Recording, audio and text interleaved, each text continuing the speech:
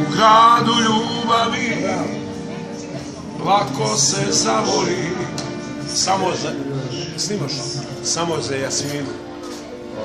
Za Jasminu.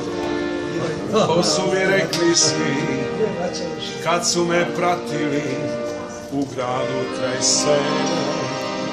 Za neko vrijeme mislio sam da ću te preboljeti.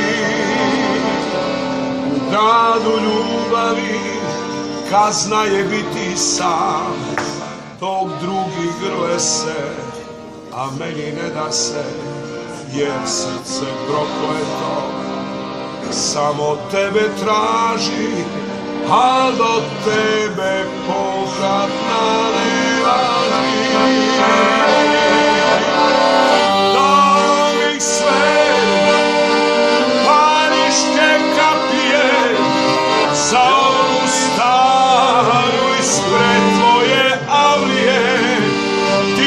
samo reci, vratit se pešice, odavde do tvoje ulice.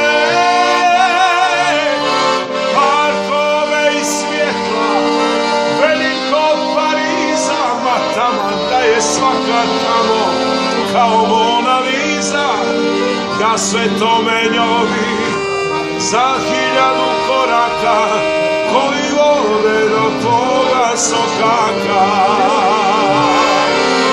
Jasmina, Jasmina, paniške kapije samo su za tebe sada otpevane.